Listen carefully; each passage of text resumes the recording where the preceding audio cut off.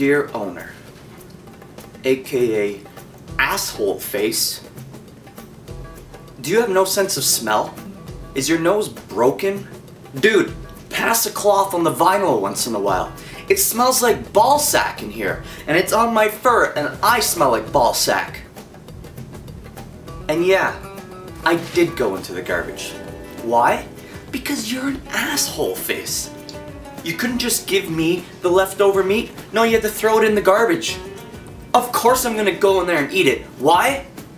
Because you're a cheap bastard who buys my food, my cat food, from the dollar store. You don't think I have feelings? You don't think I have desires? You don't think I want a piece of that meat?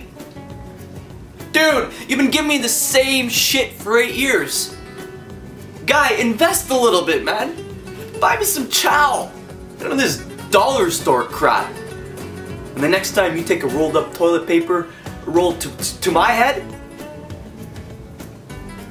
go ahead. Go ahead.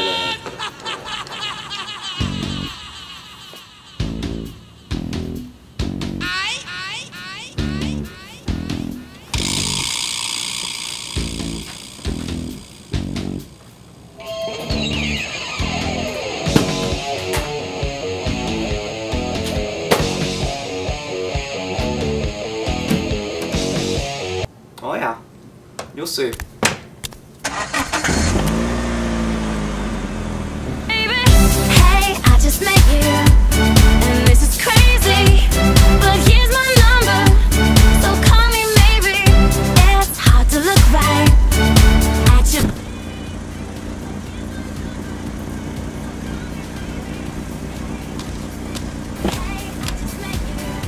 It's my favorite song.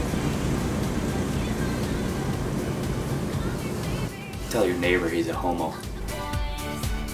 This place is a prison cell. Gosh. And cat food. Change it up. And your dog's an idiot.